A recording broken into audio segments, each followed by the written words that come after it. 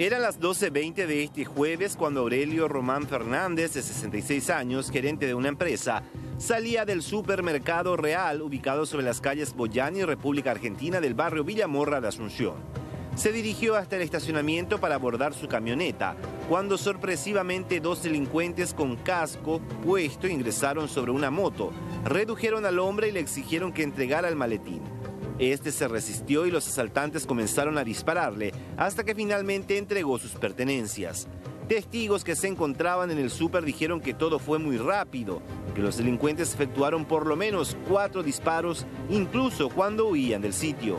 Sí, me, lancé acá porque he visto que estaba, eh, estaba por los espejos, he visto que estaba con el... Con la... Pero nada más. Me lancé. varios disparos. Cuatro yo conté. ¿Y el señor eh, cayó al piso? ¿Pudo caminar? ¿Usted le pudo ver al señor? No, no, no. Yo ya cuando me tiré acá, el motochorro, no sé si es motochorro o quién ha salido corriendo. Y ya me quedé adentro porque estaba disparando, salió disparando. El último disparo habrá tirado más o menos de allá. ¿Y había varias personas aquí en el estacionamiento? No, el señor solo le visto yo. Al señor solo he visto gente que venía de, de los otros lados, pero ya, ya no me levanté más.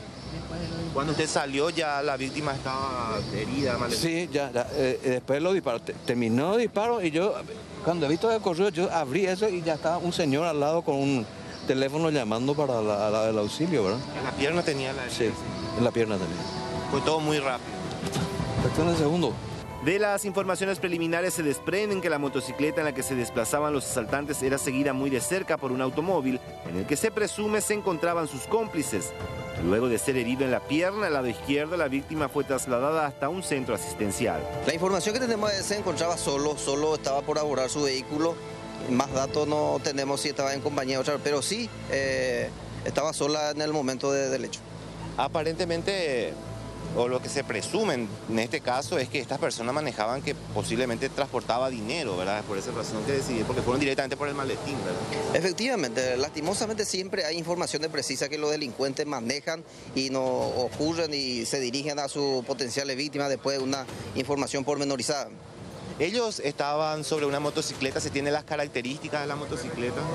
Sí, estamos recabando con, alguna persona una motocicleta color oscuro, con dos personas a bordo, las dos personas tenían casco y presumiblemente también fue seguida, estos delincuentes fueron seguidos por un automóvil color gris. Los investigadores solicitaron las imágenes del circuito cerrado del estacionamiento para identificar a los responsables del violento asalto en el supermercado.